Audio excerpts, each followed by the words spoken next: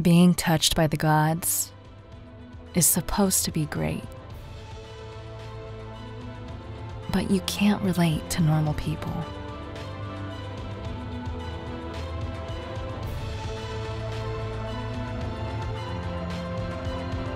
Nobody knows that you kill monsters.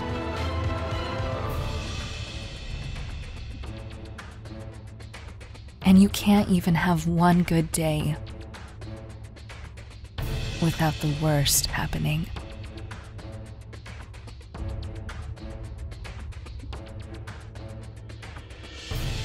Heroes have changed over the centuries. And enemies come from unlikely places. But no matter the foe, no matter the pain, people are depending on you.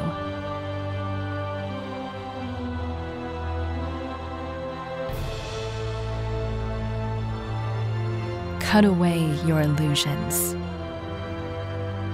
See things as they are. Then fight for how they should be.